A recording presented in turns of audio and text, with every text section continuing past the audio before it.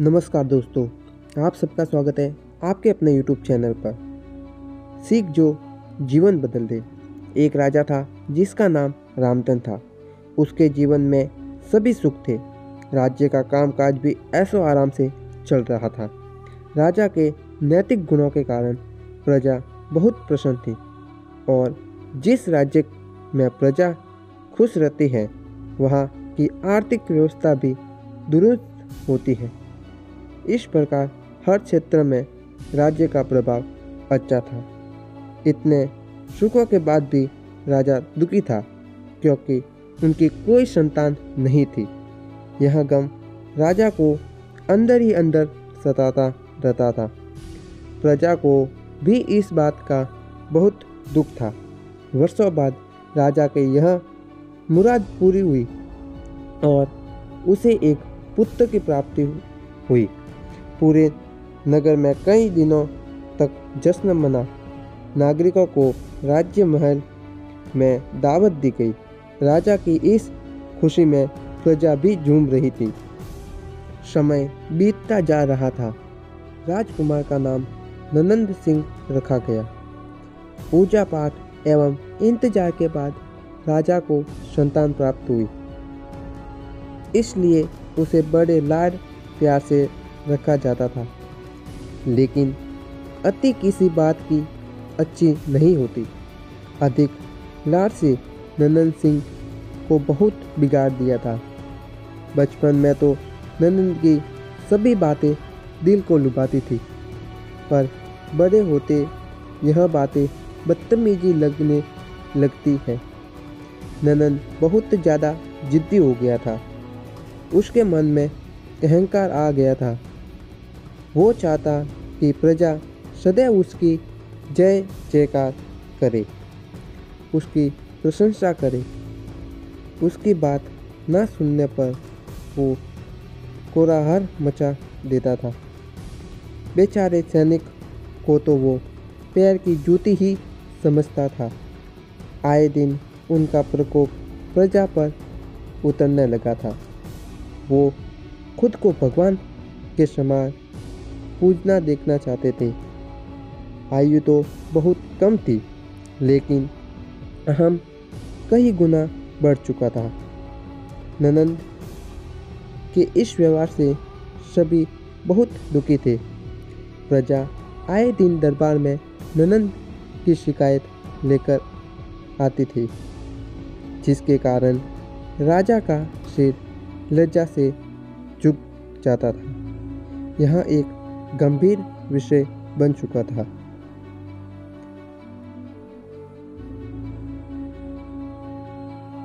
एक दिन राजा ने सभी खास दरबारियों एवं मंत्रियों की सभा बुलाई और उससे अपने दिल की बात कही कि वे राजकुमार से इस व्यवहार से अत्यंत दुखी है। राजकुमार इस राज्य का भविष्य है। अगर उनका व्यवहार यही रहा तो राज्य की खुशहाली चंद दिनों में ही जाती रहेगी।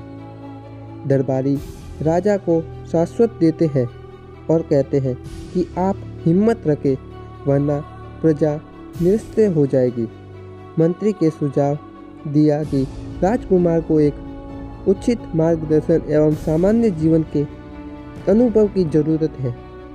उन्हें गुरु राधा गुप्त के आश्रम भेज दीजिए। सुना है, वहाँ से जानवर भी इंसान बनकर निकलता है। यह बात राजा को पसंद आई और उसने नंदन को गुरु जी के आश्रम भेजा। अगले दिन राजा अपने पुत्र के साथ गुरु जी के आश्रम पहुँचे। राजा ने गुरु राधा गुप्त के साथ अकेले में बात की और नंदन के विषय में सारी बातें कही। गुरुजी ने राजा को आश्वस्त किया कि वे जब अपने पुत्र से मिलेंगे, तब उन्हें गर्व महसूस होगा। गुरुजी के इस शब्दों को सुनकर राजा को शांति महसूस हुई और वे सहर्ष अपने पुत्र को आश्रम में छोड़कर राजमहल लौट गए। अगले दिन सुबह गुरु के खास चेले द्वारा नंद को भिक्षा मांगकर खाने को कहा गया, जिसे सुनकर नंद ने साफ़ इनकार कर दिया। चेले ने उसे कह दिया कि अगर पेट भरना है तो भिक्षा मांगनी होगी, और भिक्षा का समय शाम तक ही है, अन्यथा भूखा रहना पड़ेगा। ननंद ने अपनी अकड़ में चेले की बात नहीं मानी, और शाम होते होते उसे भूख लगने लगी, लेकिन उसे खाने को नहीं मिला। दूसरे दिन उसने भिक्षा मांगना शुरू किया। शुरुआत में उसके बोल के कारण उसे कोई भिक्षा नहीं देता था। लेकिन गुरुकुल में सभी के साथ बैठने पर उसे आधा पेट भोजन मिल जाता था। धीरे धीरे उसे मीठे बोल का महत्व समझ आने लगा। करीब एक महीने बाद ननंद को भर पेट भोजन मिला। जिसके बाद उसके व्यवहार में बहुत परिवर्तन आए।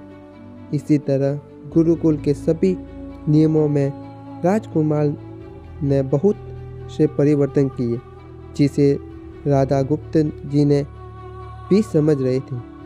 एक दिन राधा गुप्त जी ने नंद को अपने साथ सुबह सवेरे शहर पर चलने कहा। दोनों शहर पर निकल गए। रास्ते भर बहुत बातें की। गुरु जी ने नंद से कहा कि तुम बहुत बुद्धिमानी हो और तुम में बहुत अधिक ऊर्जा है, जिसका तुम्हें सही दिशा में उपयोग करना, आना चाहिए। दोनों चलते चलते एक सुंदर बाग में पहुँच गए, जहाँ बहुत सुंदर सुंदर फूल थे, जिससे बाग महक रहा था। गुरु ने ननन को बाग में पूजा के लिए गुलाब के फूल तोड़ने को कहा। ननन जड़ से सुंदर सुंदर गुलाब तोड़ लाया और अपने गुरु के सामने रख दिए। अब गुरु जी ने उसे नीम के पत्ते तोड़कर लाने कहा। ननंद को वो भी ले आया। अब गुरु जी ने उसे एक गुलाब सूंघने दिया और कहा, बताओ, कैसा लगा? ननन ने गुलाब सूंघा और गुलाब की महक की तारीफ़ की। फिर गुरु जी ने उसे एक नीम के पत्ते चक्कर उसके बारे में कहने को कहा। जैसे ही ननन ने नीम के पत्ते खाए, उसका मुँह कड़वा हो गया और उसने उसकी बहुत निंदा की और जतर कतर पीने का पानी ढूँढने लगा। ननन की इस दशा देख गुरुजी मुस्कुरा रहे थे। पानी पीने के बाद ननन को राहत मिली। फिर उसने गुरुजी से हंसने का कारण पूछा। तब गुरुजी ने कहा, कि जब तुमने गुलाब का फूल सूंघा तो तुम्हें उसकी खुशबू बहुत ही अच्छी लगी तो तुमने उसकी तारीफ़ की। लेकिन जब तुमने नीम की पत्ती खाई तो तुम्हें वो कड़वी लगी और तुमने उससे थूक दिया और उसकी निंदा भी की। गुरुजी ने ननंद को समझाया, जिस प्रकार तुम्हें जो अच्छा लगता है तुम उसकी तारीफ़ करते हो। इसी प्रकार प्रजा भी, जिसमें गुण होते हैं, उसकी प्रशंसा करते हैं। अगर उनके साथ दुर्व्यवहार करोगे और उनसे प्रशंसा की उम्मीद करोगे तो वे यह कभी दिल से नहीं कर पाएँगे। इस प्रकार जहाँ गुण होते हैं, वहाँ प्रशंसा होती है। नंदन को सभी बातें विस्तार में समझ आ गई और वो अपने महल लौट जाता है। ननन में बहुत परिवर्तन आता है और वो बाद में एक सफल राजा बन जाता है। कहानी की शिक्षा। गुरु की सीख ने नंद का जीवन ही बदल दिया। एक क्रूर राजकुमार से एक न्यायप्रिय दयालु राजा बन गया। इस कहानी से हमें यह शिक्षा मिलती है कि हम में गुण होंगे तो लोग हमें हमेशा पसंद करेंगे। लेकिन अगर हम अवगुणी हैं तो हमें प्रशंसा कभी नहीं मिल सकी। दोस्तों, आपको यह वीडियो अच्छी लगी हो तो वीडियो को लाइक करना। मिलते हैं नेक्स्ट वीडियो में।